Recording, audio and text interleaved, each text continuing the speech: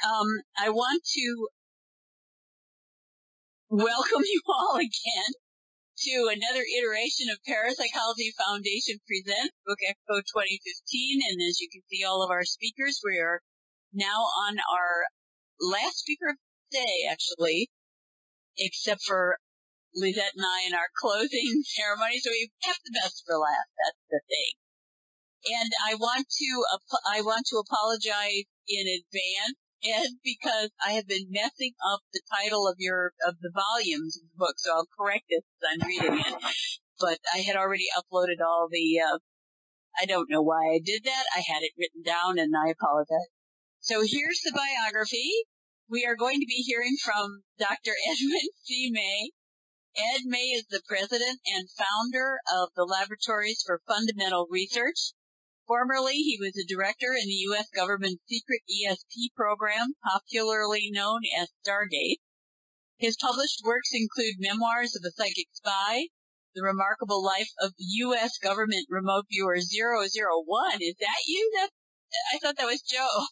no, I, I wrote the forward for his book. That's all that is. Ah, I see. I, so I screwed that up too. Honest to God, it's late at night. What can I say? So he's written several articles in nuclear physics, and I know that's you and not Joe. More than a hundred papers in the technical journals of parapsychology and 300 technical final reports on ESP to the government. He received his doctorate in experimental nuclear physics from the University of Pittsburgh.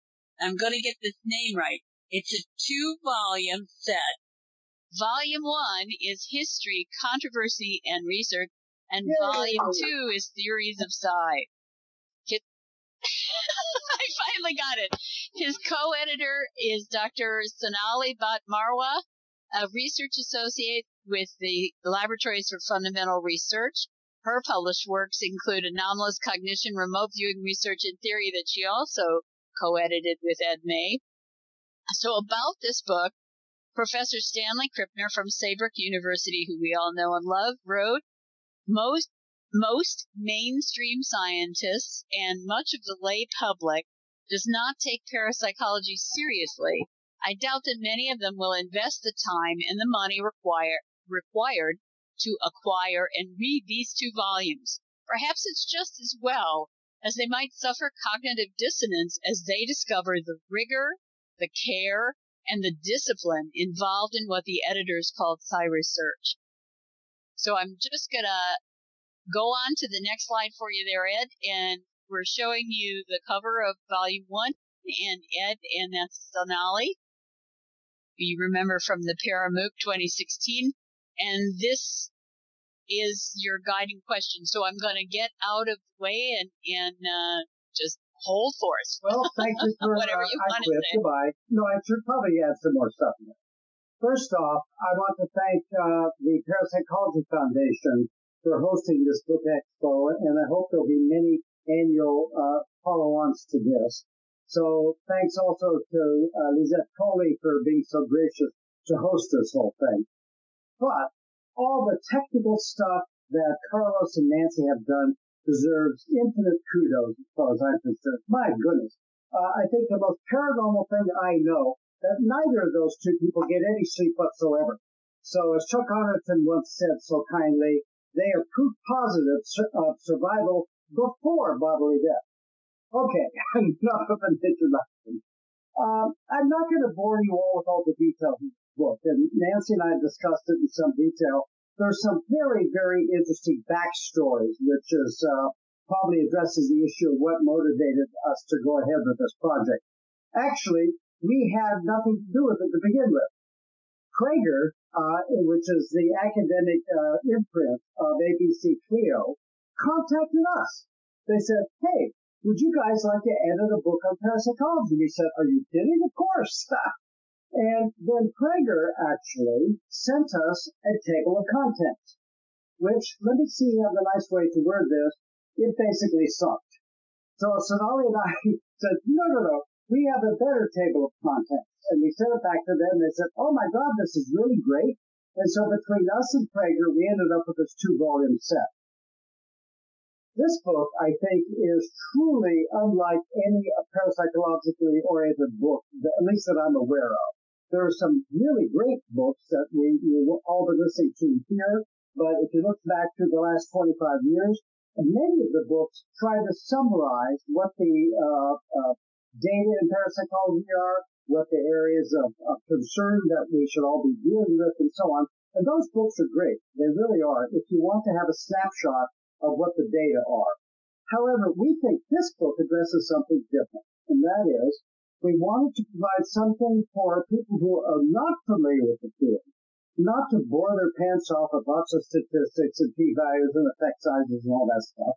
We wanted them to grasp the picture. And the most important part of that, what uh, Sonali and I felt, were the fundamentals of ESP. Everybody sort of has their own definition of ESP. Everybody has their own definition of paranormal, ranging from survival, field research, and, and uh, auras, and a whole bunch of other things. All of that falls within the basic moniker of what we all like to study. What we have done is to narrow that down very, to a very narrow region where we can look at research in laboratories. And we call that the informational side of psi. And the introduction, if you only read one thing in this whole two volume set, please read our introduction because what we try to do is to make it really clear, at least clear to us at anything, about what the true fundamentals of the informational form of psi. We put very little effort, in fact, I don't think any, on psychokinesis per se, mind over matter. We wanted to know what the fundamentals are, time, causality, and information. Because precognition fits into that, clairvoyance fits, uh, fits into there, and telepathy, informational form of psi. Well, one of the um, interesting problems. In fact, it a giant pain in the you know what. We have 38 separate uh, contributors to these two volumes. 38 of them. Have you ever tried to sweep fog off the roof or to herd cats? Getting all of these people to get their stuff to us on time uh, was really difficult, but they did. And they eventually did it with horrible threats. We had black helicopters circling over their houses in some cases, but they all produced excellent, excellent work. And we wanted to know what the history, what Carlos and Nancy contributed, was something really important and a different perspective that actually I hadn't thought much before. You know, we all know the history of psi research and, you know, the STO in London and so on, but we wanted to emphasize what impact, what did the history of science impact on parapsychology? Not the history of parapsychology, but the history of science. In other words, when did uh, Fisher's statistics start coming in there? The Bayesian statistics. How did that affect what was going on? We also have things in this book which I think are very helpful, and that is what are the Australians doing? What are the Indians and Russians doing? And what are the people in the U.S., what labs and what they're doing? Try to give an overview for someone who has never heard of this area to get some idea. But for me, what is the most astounding part of this book we have six, count them six, mainstream scientists, one of whom does dabble in parapsychology, but five others that hardly ever, ever have been associated with parapsychology contributed to this. One of those is a guy named Richard Corry. He's a mainstream philosopher from, uh, from Australia. And what Richard wrote for us, it just blew me away, he gave a very cogent argument, argument that why precognition does not violate causality. And uh, what? I've always thought, you know, precognition was a problem because it does appear to violate causality. And he gave a very cogent argument that that was the case, that it was not. Another mainstream uh, philosopher was a guy named Anand Vaidya. He's Indian in uh, his family origin, but he was born in Chicago, and he jokes with me that he doesn't have any uh, Indian affectation at all. He, he doesn't sound like Apu and Simpsons, which is his favorite statement. And he's a professor of philosophy, uh, soon to get, well, he's got tenure, he's soon to become a full professor at San Jose uh, University down uh, in the Bay Area here at San Francisco. And what he has done, which is just out, uh, just amazing, he's taken a lot of the research that we have uh, from our lab primarily and posted it on his university website with permission of his department chair. So we are beginning to sort of worry uh, or make inroads slightly to the mainstream. So it's two main mainstream people that are involved in that. Another one is uh, a skeptic. We wanted to make, in fact, 40% of volume one by pages is devoted to skepticism. We wanted people to give rational skeptics uh, a view, a, a voice. That was Chris, Chris French and uh, E.J. Wagenmakers from the uh, from the Netherlands. Um, and what was fascinating, Jessica Utzcourt uh, act, act as a foil to those critiques. Those critiques were excellent. They were not ad hominem. They didn't call us idiots and things like that. But uh, what Anand has done is to uh, mainstream this. But the biggest one is a fellow by the name of um, James H. Fallon, who is a neuroscientist from the University of California at Irvine. Um, he's gotten worldwide acclaim these days because he's a neuroanatomist, and what he's been looking at is uh, the I, I joke about the noodles. He refers to it the neuroanatomy of the brain of psychopathic killers on death row, and he's looking at their genetics. And what happened? Uh, you can find him all over YouTube, and he has a book out. What happened was he discovered, long story short, that his brain and his genetics were worse than anybody on death row. He kept saying, "Hey, I'm your basic all-around nice guy. How come I don't run around killing people and do all kinds of awful stuff?" and he goes into some detail. He's world famous for his work in neural anatomy. And I've known him on and off for about a decade and asked him if he'd be willing to write a uh, forward for these two volumes, which he did. So we have this guy coming out of the closet in tremendous support of the research in parapsychology. And I'm sort of paraphrasing. He said, you know, the methodology developed in research parapsychology has informed him how to do better research. Oh my goodness, I was blown away by that. Uh, another mainstreamer we have in here then is Bernard Carr. Uh, well, he's not quite a mainstreamer, although he was Stephen Hawking's um, first uh, postdoc. He's a cosmologist, uh, but he was been president of the Society for Psychical Research London for years. Definitely interested in parapsychology. I've known him on and off for years. And he wrote uh, in our theory section multi-dimensions and how that might account for how information gets from tomorrow in Bombay to here now. That's a huge problem. Um, I think one of the backstories that, that at least I find interesting uh, is, is volume two. What we tried to do in volume two was to put as little of our own viewpoint across in the theories. We have like six or seven theories in that particular volume, including uh, dualist theories uh, by um, uh, David Rousseau, who just got his PhD in the study of dualism. Uh, we have mostly other theories are, are physicalists in, in their approach.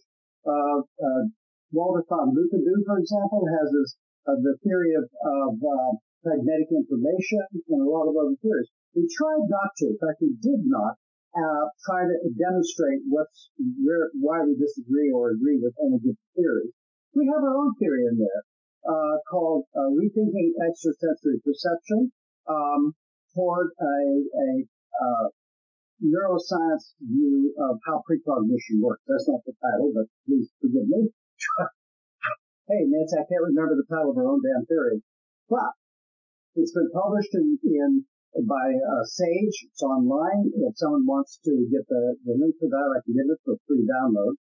If the theory is wrong, that's fine with us. But there's one part of the theory that is absolutely correct.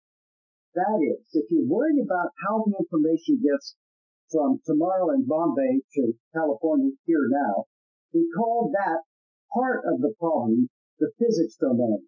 In other words, it doesn't matter about the, the recipient, it doesn't matter any aspect of the, of the subject in an experiment. It's a terribly difficult but tractable physics problem. Then, once the information is on board, how it gets there is a huge problem. We call that the neuroscience domain. And what's fascinating about the neuroscience domain, and this is mainly Sonali's work in that area, she has a PhD in psychology with an emphasis in neuropsychology. Uh, what is it? What's important there is what we're proposing, how this works in the brain, and all of the all the hypotheses we generate in that particular model are eminently testable. So the, the jury is still out, although we're highly confident. What's most interesting to both of us is all the other theories in book one, book two, and the other ones we are just becoming aware with, we can point to where in our model that those things happen. Uh, and Jim, uh, Jim Carpenter at, at uh, the Rhine Research Center with his marvelous book uh, was able to demonstrate and happily where to see where his model fits into the overall uh, overall scheme of things. Um, as I, I, mentioned earlier, what was uh, hard to do was to get everybody to get in their contribution in, in time. But working with ABC Clio, uh, they offshore to India actually uh, putting together the book itself. And we sort of did a lot of uh, back and forth with them. We had a tremendously difficult copy editing thing. We sent everybody's contribution out for copy editing, and then they had to get release forms and the usual bureaucracy associated with trying to edit a, a multi, first of all, multi-volume set, as well as one that is um, involved um, with what we're doing here. Uh, Nan, could you uh, type in for me how, how long I've been going? I meant to start my clock and I didn't. uh, nonetheless, um, how extrasensory perception has been received, as far as I, as far as I know, it's been going uh, uh, fairly good. Uh, there have been good reviews. You've heard Sam Epiphanies, but we've had behind the scenes reviews by a lot of people. It was uh, well welcomed on a uh, uh, discussion list many of us belong to, uh, a par- working working day parapsychologist. So I think it's been going on, on reasonably well. Um, I would think, first of all, it's expensive. There's no doubt. It's around 130 something dollars, and that's a lot of money for most people. Uh, I think they just launched the Kindle version, oddly enough, just as expensive, which I'm surprised to see. But if you can afford it, I, if you had to just buy one book, and you're interested in the research of informational side, the uh, ESP, uh, precognition, uh, clairvoyance, and telepathy, buy this book. It's really worth it. That's not a, a sales pitch on my part because it's not going to be a, it's not going to be a bestseller, but it will provide you a great deal of information. I know quite a number of uh, libraries now that are carrying this. Um, I just returned from giving the uh, Bill Roman uh, Memorial Lecture at the University of West Georgia. It's in their library now, uh, so a lot of students could benefit from this book. In fact, I think uh, it might even serve well as at least one part as a textbook for courses in parapsychology. So, what's next? That's a biggie. We have, Simone and I have a contract from um, we have a contract from uh, McFarland Press, and it will be their biggest uh, book project and our biggest book project. It is to God, we're calling it the Stargate Archive. Stargate, for those of you who don't know, was the last uh, nickname of the government program in extrasensory perception, the spine portion. And we have something over 300, maybe 350 documents which we are casting into a, a standard format. And right now we're up to six or seven volumes of this immense material, 1.4 million words, a lot of, uh, a lot of, uh, equations that have to be done camera ready, a lot of, uh, pictures and, and, figures that have to go in for camera ready. And, uh, McFarland is saying, oh my God, what are we going to do? It's the biggest project they have. So we're working in a very synergistic way. It's quite lovely with the people there fact, Joe McMoneagle and I went down to visit them in North Carolina. It was a lovely day with these people. Uh, it's scheduled to be out August next, uh, 2016. Whether we'll meet that or not, I don't know. Uh, a lot of the uh, initial work is done. We're going to have a whole volume devoted to government reports, not reports generated by the SRI or Stanford, I mean, um, Science Application International Corporation. These are government documents produced by the CIA, produced by the Defense Intelligence Agency, produced by various elements in the Pentagon, and so on. And a large number of memos flying around. And what those memos and documents show very, very clearly. I don't quite know how to say this so I say I hope CIA is listening into this, but the CIA just bald-faced lied with regard to both their um, uh, writing in what's called the American Institute of Research report, and lied on television in the form of um, uh, Robert Gates, the former director of CIA and former defense uh, uh, Secretary of Defense. I was on the show opposite him on Nightline in 1995, and he said over and over again there was never a single case where this was used for actionable intelligence.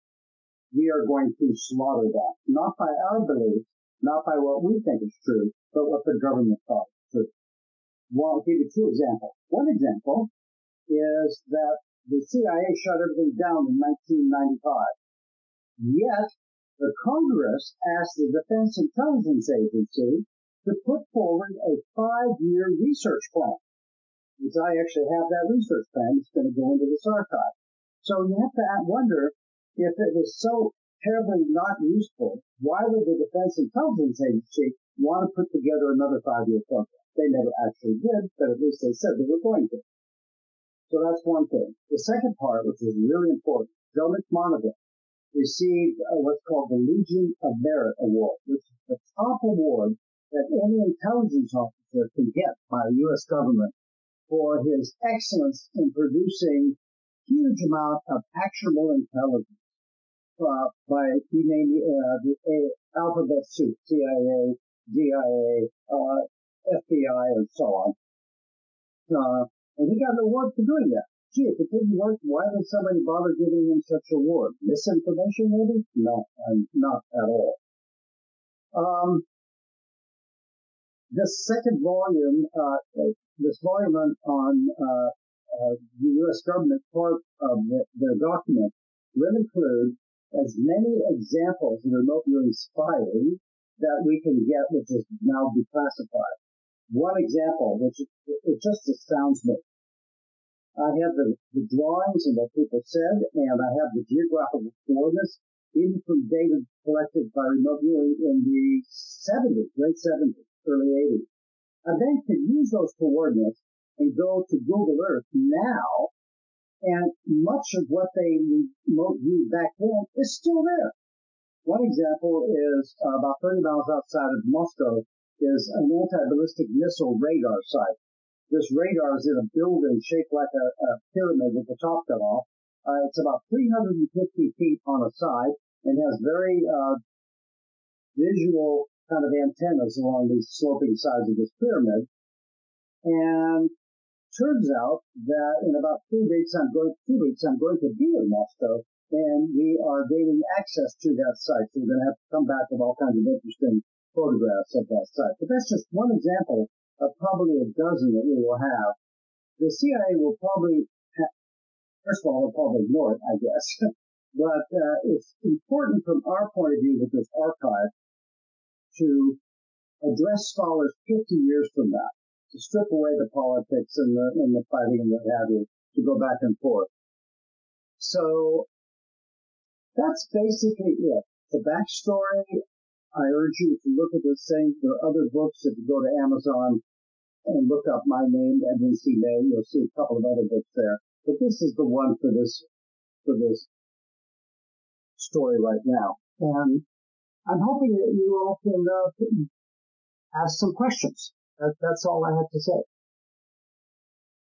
Nancy, come on back. I'm on. I'm on. Thank you very much, Ed. Okay, guys, the chat box is open if you have any questions. I see people writing. Well, I have to say, Carlos and I were uh, probably among those who had the helicopter oh, circling nice. while we were trying that. to finish up the chapter. Definitely it was us. Uh, we enjoyed doing that chapter. Not to yeah, mention right. got to eat occasionally because of doing that chapter. Oh, lots of people are typing. Yeah, I'm looking here also. Okay, Cheryl is asking, did you put out a general call for papers to get contributions for the book, or did you? yeah, that's a great question. Um, we had a list of people that we wanted specifically to be there. Most, most of those people are well known. You know, some of the lesser known people are Carlos and Nancy, but we put slip them in anyway. what we want to do is to pick the top people we could find. Uh, we got Chris French, who is a skeptic but a kind one, and E.J. Wagenmakers was an unknown guy to me, although he criticized Bem quite a bit in his work. Uh, we wanted to get the best people we could, and much to my surprise, we queried a lot of mainstream people turned us down. But uh, so the fact that these guys must have had some innate interest uh, Anand Vaidya, for example, uh, I've never heard of this area. A little, a little backstory with him. He got so enamored by this data. I went to India just after the course in January, and before I left, Anand said, "Hey, this is really great stuff, and I'm giving a talk in front of an American Psychological Association meeting, and I'm going to talk about your work." And I said, "No, no, no, not a good idea at the APA. Don't do that, please." He said, no, no, this is just a bunch of academics, no big problem. Well, the poor guy, I got an email from him when I was in India. He said, Ed, you so underestimated the how vicious and mean these people were. he was horrified. But I said, then why the hell? I mean, now uh, I had lunch with him about a month ago. Why are you putting our papers on your website at the San Jose State University Department of Philosophy? He said, because it's good work and I said, but you're trying to become a full professor. This is going to kill your career. He said, no. He's talked to his, his, uh, department chair and he's approved the whole thing. So we are nibbling at, we are nibbling at the mainstream, folks. Wonderful. Great, great. Ariane said, when you were writing, assembling, researching this volume, was there something you learned that really surprised Absolutely. you? Like, the was this the learning process for you? Uh, because it's, it's certainly the biggest problem of precognition. I thought it was, in fact, uh, violate causality. Causality means I can't, this pen will not drop it unless until I open my finger. And so it looks like precognition would violate that. But Vincent Corry gave a very cogent argument why it doesn't. And it addresses something interesting many of our colleagues in our field are enamored with the word that makes my skin crawl, and that's called non-local information, non-lo- non-local consciousness and non-local gathered information. Turns out, in ancient Hindu philosophy, people thought way back when that when you looked at the sun, some aspect of your eyeball flipped across 93 million miles, grabbed the information, and brought it back. Well, of course, now we, we know that that's not it. The interesting part of our model here is it's signal based, like all other sensory systems we know about. And that's really important because I'm a lazy son of a gun, and if I don't have to invent anything new, why not stick with the old stuff until it starts failing?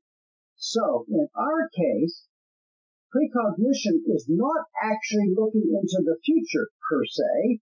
That information in the physics domain, how it gets from tomorrow in Bombay to here now, that's a physics problem but it's local, not local. It's like a, it's like a photon in your, your retina. You just interpret it right here and right now. It's that sort of argument that unburdens us from causality. It's extreme, and that was brand new information to me. Hmm. Um, Margaret Lublin is asking, what's your sense as to why the government ah, suddenly well, got they were standing in buckets of liquid. No, they weren't standing in buckets of liquid. That's another cold feet. Uh, that's a good question. Um, I have a paper in the Journal of Parapsychology which addresses all that in detail, but, but I'll give you three arguments. Number one is that uh, during the Cold War, when they were flinging money at us, uh, the kind of intelligence they wanted to gather was called strategic intelligence. That means there's some site in the Soviet Union or in Ukraine, and it's been there for a long time. It's going to be there for a long time more, and we have no idea what the heck's going on in there. So can you help us figure out what's going on? That's a strategic problem.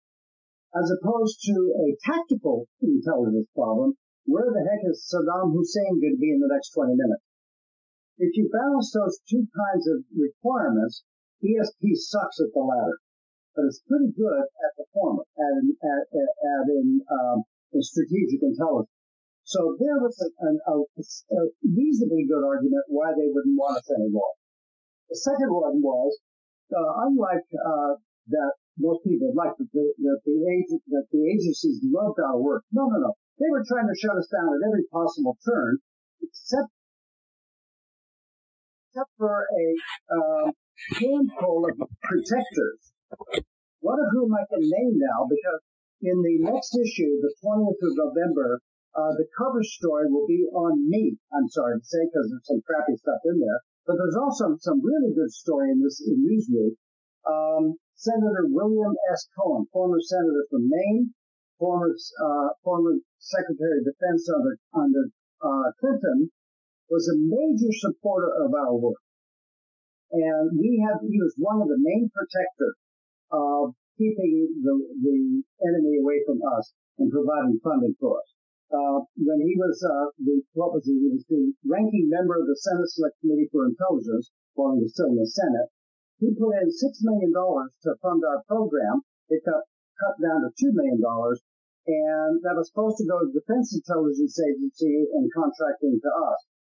I saw a letter that Cohen wrote uh, to the three-star commander at DIA saying, you have, because guy at DIA didn't want to take this money. He said, well, I don't want the money. And what Cohen wrote to him was, you have 24 hours to show why you are not in contempt of Congress. It's one of those career-ending letters. Wow. I'd love, love to have, a, I'd like to have a copy of it. And then thirdly, and finally, this is, I swear to you it's true sex and intrigue. I mean, that, that's really what happened. There was a, a congressional staffer who will remain nameless was having a romantic affair with one of the female remote viewers who will remain nameless.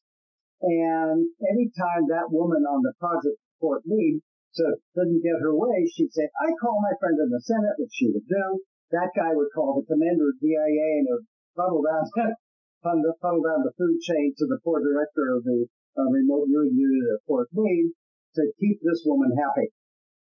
And so I was explaining this to my contact at CIA, and I don't mind naming him because he gave me his card. It's not classified. The physical chemist by the name of Andy Kirby. So I explained all this to Andy Kirby, and I said, "Hey, Andy, don't believe me about sex and intrigue here. Uh, it's a big problem. You need to check it out on your own." Well, about two weeks later, Andy called me back and he said, "Ed, you so underestimated this problem I've been ordered by a higher pay grade than me, never ever to speak to you again, and he hung up. That was the last I ever heard of him.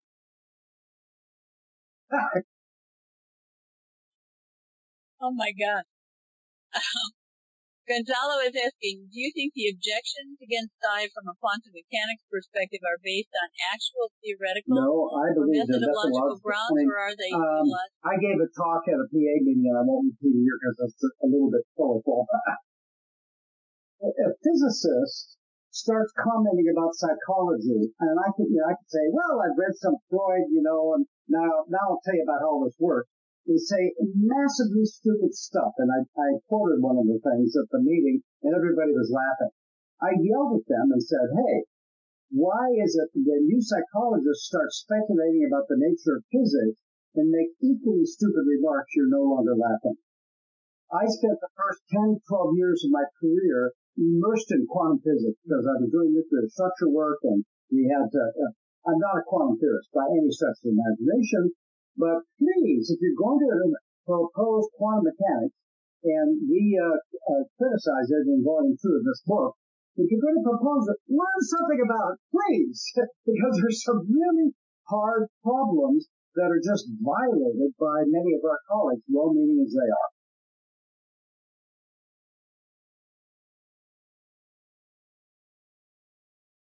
Ariane is wondering if you could elaborate a bit more on what you meant about uh, certain types of remote viewing um, being better than others. So it, she was wanted a more oh, elaboration yeah, yeah, yeah. Okay. Uh, one of the strategic places, which has gotten quite a bit of notoriety, is Joe McMoneagle. The uh, National Security Council, which is the advisory arm for the President of the United States uh, on matters of security, um, there was a building in Severodvinsk, Soviet Union. It's right on the White Sea, quite far north. They knew there was this building, and they did not have any idea what was going on inside the building. They knew a lot of stuff was because delivery trucks were coming and going, and there was a lot of activity you could see from satellite pictures. So they sent us a photograph from the satellite of the roof of the building. And That was put in a double sealed envelope. It popped down in front of Joe McMoneagle, and he was said, tasking was that the problem of the day is inside this envelope. And then Joe, and it's actually some detail in volume one here, we have his transcript. He went and described in gory detail, I mean exquisite detail, about the construction of a huge submarine that had t- twin hulls, kind of like a catamaran, with an outside hull on top of it, so many missile tubes, a mag- hydromagnetic pulse propulsion device, all kinds of details like that. And the NSC people said, no, no, that can't be because at the time that building was quite a ways from the sea, about a kilometer. And Joe said they're going to come and dig a canal and launch the boat in so many days. It said about 107 days. I don't remember exactly. And in the pace, in the space of uh, seven days off of that, it was correct. They did launch what uh, in the West is known as the Typhoon class submarine. In Russia, it's called the Akula, which means shark. And there's only one of those boats left. And the West was terrified during the Cold War because that boat was undetectable. It was totally, utterly silent and a tremendous threat. So that's what we mean by tactical intelligence, uh, uh, strategic intelligence. Sometimes the tactical intelligence works, but not very often. Uh, during the Iranian hostage crisis in the 70s, well, they're, they're moving the hostages. Where are they going to move them?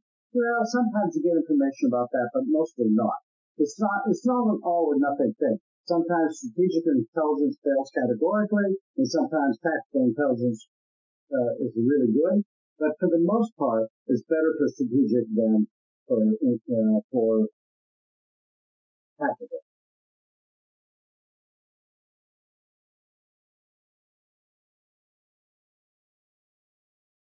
Any more questions, anybody? Yeah. Well, Still have a, a few more minutes.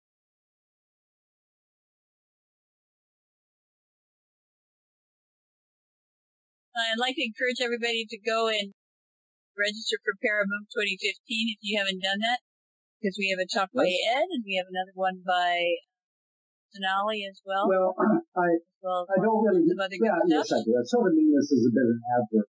If you type in my name, Edwin C. May, into, into Google, I mean, into Amazon, you'll find these two books, but two others. One of which I would not recommend to anybody. I, I like to joke. Anomalous Cognition uh, book uh, was given a prestigious, I mean, I, I guess I don't know if you even know this. Shortly, a month after it was published, it got a major international award by the International Insomniac Association as an instant cure. This book, if you read, but as an instant cure for insomnia. In other words, if you start As a reading this book, you'll nod off really damn quickly. Really geeky, full of a whole bunch of stuff no one will give a damn about. It's a lot of arithmetic and that. But it's at least one collection of all the research. But a book I would recommend is five bucks on Kindle. It's really worth it. It's called ESP Wars, uh, East and West. That's what it looks like. This is a good read. It's not technical. It talks about what the Russians were doing. There's some very funny bits in there. Uh, I'll tell you one. I'm of the, a Cold War warrior type. That's how old I am. And most of my learning about the Cold War I got from the novelist Ludlum, Robert Ludlum and all those spy novels. And, you know, the KGB is really awful. They come and slit your throat and do all kinds of horrible things. And yeah, some fraction of them do that. But the KGB, like CIA, is mostly an analytical house. There's 750,000 employees at KGB at the height of the Cold War, and almost all of them were office desk jockeying. Hardly any of them were the kinds of spies sneaking around. And one such guy is a co-author on this book. His name is Boris Ratnikov. And he writes a, a, a chapter here for us. It's really funny. You don't think of KGB having a good sense of humor, but Boris says, well, you know, I was a country bumpkin, and when I finally joined the KGB school, my pals took me out for, for an expensive meal in Moscow, and on the menu was dry white wine. And he said, I had no idea what dry white wine was. I figured they were going to give me a glass of water and a pill, you know, put it in the, to make the wine. And then uh, he tells us just an amazing story. He said his first job at, at, at KGB was co-political officer on a Soviet era cruise boat. I didn't even know they had pleasure cruise boats. I didn't even know they had them then. And so he, he in the pleasure, and he, clinical officer means don't let anybody defect when they go to port and somewhere in the Mediterranean. So they're out in the Mediterranean, bored out of their gourds. They decide to hold a beauty contest to elect Miss Cruise. Okay, fair enough. And Boris Ratnikov, major in the in KGB, dresses up in drag, false breasts, false hips, makeup, everything, false wig, all of that, enters the contest and wins. So I said, hey, Boris, are you that cute in the dress? He says, I'm gorgeous oh, in the dress. Uh, but you should have seen how the other women were because if you had money in those days, you were pretty spoiled and did it. And then the other women in the boat tried to drown him in the swimming pool. so that whole book. oh, oh dear. well, um, getting back to uh, insomnia, Ariane is clearly not afraid of it because she wanted to wants to know if you were going to put well, together a volume question. three. Um, I have been fighting with like media forever. I'd like to put together a volume that asks that at least addresses the question that almost nobody addresses. And excuse my crude language here, but why should anybody give a shit about ESP? In other words, why do we care? I mean, it's a cruddy way to get information about anything. It, uh, you know, it's statistical, it's hard to nail down, and people are arguing about it so on. Why waste a career doing it? Why bother? There's some really good answers to that question, by the way, which could fill up volume three very nicely. So, you know, I can't get anybody, I can't get anybody to move. That sounds wonderful.